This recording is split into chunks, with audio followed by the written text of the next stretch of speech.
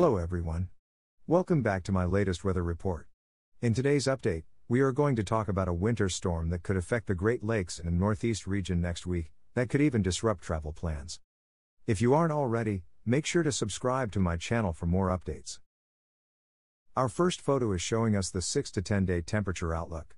Warmer in the western United States while the eastern half could become cold.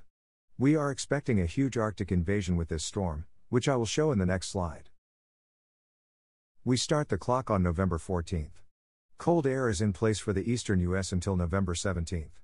Warm air takes over, before it is quickly swept out by another cold front.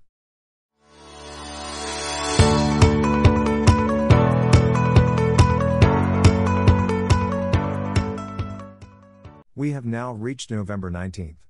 Cold air is still around, until warmth surges in again on November 21st, before quickly being punched out by our Arctic invasion on November 22nd.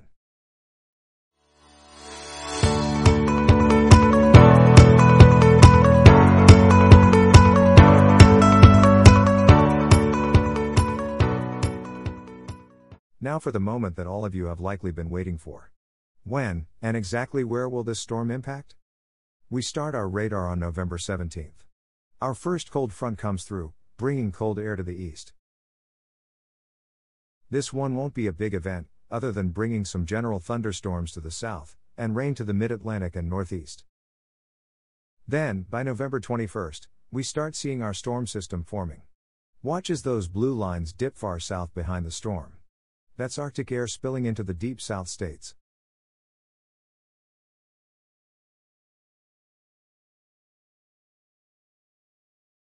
Snow continues for the Great Lakes and Northeast.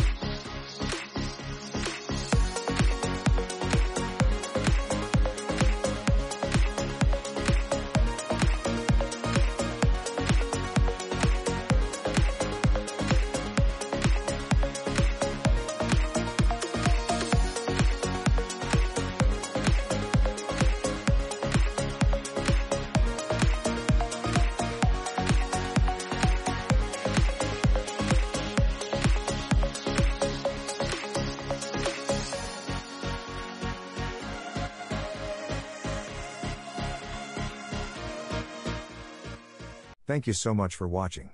I hope you enjoyed. Please let me know in the comments if you liked my video.